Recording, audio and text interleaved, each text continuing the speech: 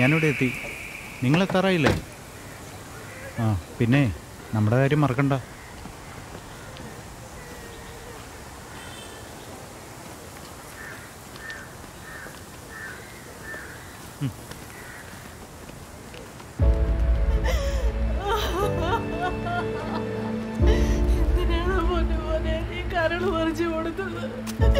എനിക്കടാ മോനെ സാറേ എന്റെ മോനൊന്ന് വന്നേക്കുന്നത്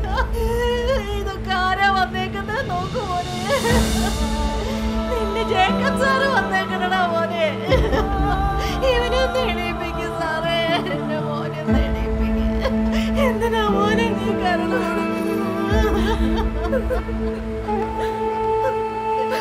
എന്റെ മോനെ മോനെ.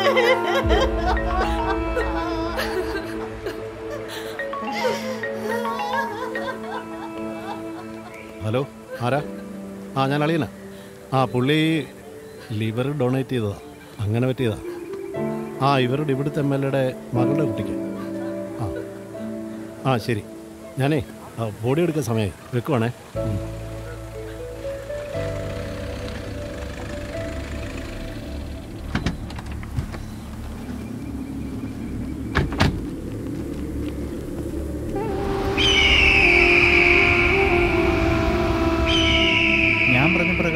എമൗണ്ടാണിത് ഇനി എന്തെങ്കിലും ഉണ്ടെങ്കിൽ നിങ്ങൾ തമ്മിലായിക്കോ.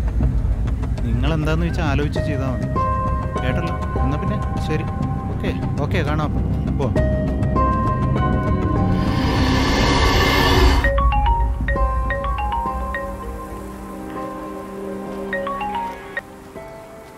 ആ ഹലോ. ആ ആ ഞാനേ എന്റെ അളിയൻ മരിച്ചിട്ട് പെങ്ങടെ വീട്ടിലാണ് ആ ആ അല്ല അത് ഞാൻ ശരിയാക്കാം. നാളെ ശരിയാക്കാം. ആ. ഓക്കെ ഓക്കെ അതൊന്നും കുഴപ്പമില്ല. എന്ത് പ്രശ്നമുണ്ടെങ്കിലും നാളെ തന്നെ ശരിയാക്കാം. കേട്ടോ? അവിടെ ഒരു മൂന്ന് മണിക്കുള്ളിൽ പൈസ റെഡിയായിട്ട് റെഡിയാക്കി കൊണ്ടുവന്നിരിക്കും. ഓക്കെ. ആ. ശരി. ഓ. ശിവം. शिवगरं शान्तं शिवगरं शान्तं शिवात्मानं। शिवात्मानं। शिवोत्तमं शिवोत्तमं शिवमार्गसमयदानं शिवमार्गप्रणयदायं प्रणतोऽस्मिन् सदाशिवं प्रणयतोऽस्मिन् सदाशिवं सदाशिवं यानि कानि च पापानि। यानि कानि च पापानि। జన్మాంతర కృపానిజ జన్మాంతర కృపానిజ తాని తాని వినచ్చంద్యో తాని తాని వినచ్చంద్య ప్రదక్షిణ పదే పదే ప్రదక్షిణ పదే పదే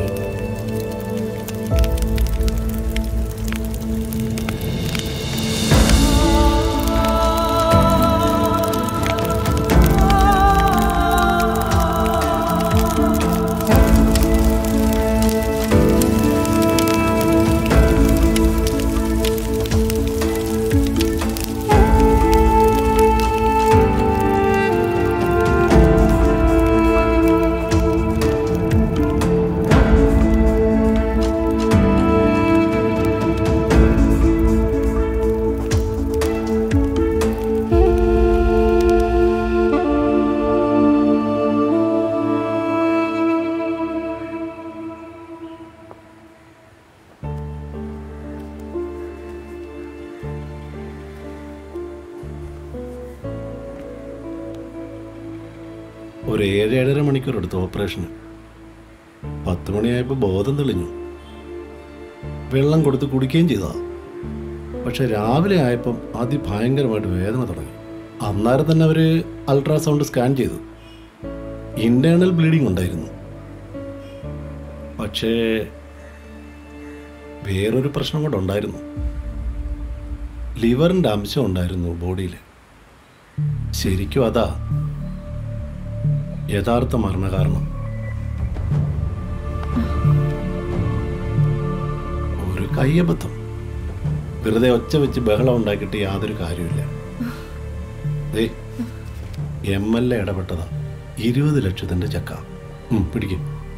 സത്യം തെളിഞ്ഞിട്ട് ഇപ്പൊ എന്താ കാര്യം? പോയത് പോയി. പിന്നെ പറ്റിയാൽ നിനക്കൊരു ജോലിയും ശരിയാക്കി തരാൻ എം എൽ എ പറഞ്ഞിട്ടുണ്ട്.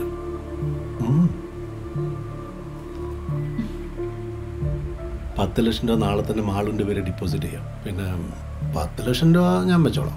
അതാ സേഫ് ഇങ്ങോട്ട് താടി ഇതെനിക്കുള്ളതാ എന്റെ ആംഗ്ല ദുഷ്ടനില്ലേ? ഈ വീടും പറമ്പും പണയം വെച്ചിരിക്കുക ഇന്ന് എടുക്കാൻ നാളെ എടുക്കാന്നും പറഞ്ഞ് ഇവളും അവനും കൂടി എന്നെ പറ്റിച്ചോണ്ടിരിക്കായിരുന്നു കല്യാണം കഴിക്കാത്ത ഞാനും ഈ തള്ളയും കൂടി പെരുവഴിയിലേക്ക് ഇറങ്ങണോ? ചൊത്താനും ഗതി പിടിക്കില്ല അവൻ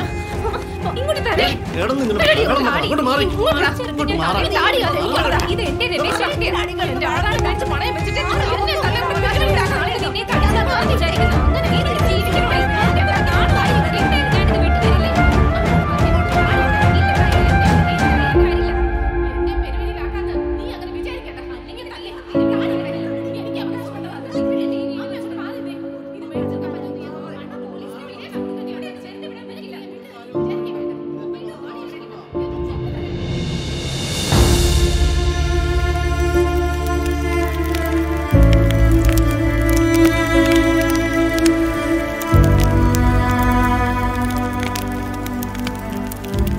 ഈ ഭൂമിയിലെ മറ്റെല്ലാ ജീവജാലങ്ങളെക്കാളും നികൃഷ്ടമായത് സ്വാർത്ഥതയുടെ അങ്ങേയറ്റമായ മനുഷ്യനെന്ന ഒരേ ഒരു ജീവിയാണ്.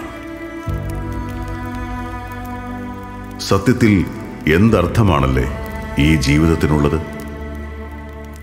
ബന്ധങ്ങളൊക്കെ ഈ കുഴിമാടം വരെയുള്ളൂ. അതുവരെയുള്ള കുറേ പ്രതീക്ഷകളും ആഗ്രഹങ്ങളും മാത്രം.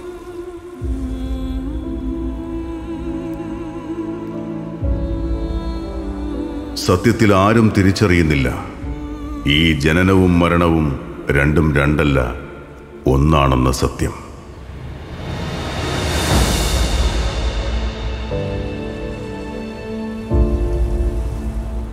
ഒരു മനുഷ്യൻ മരിച്ചാൽ അയാളുടെ ആത്മാവ് ഒരു നിശ്ചിത സമയം വരെ ആ മൃതദേഹത്തിന് ചുറ്റുമായി നിലകൊള്ളും.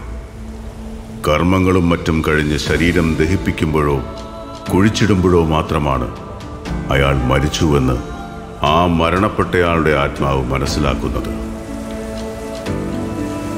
വീണ്ടും കുറച്ചധികം മണിക്കൂറുകൾ വരെ എല്ലാം കണ്ടും കേട്ടും നമുക്കിടയിൽ തന്നെ അവരുണ്ടാകുമെന്നുള്ള സത്യം മറക്കാതിരുന്നാൽ ഒരുപക്ഷെ മനസമാധാനത്തോടെയുള്ള മരണമെങ്കിലും അവർക്ക് കിട്ടും.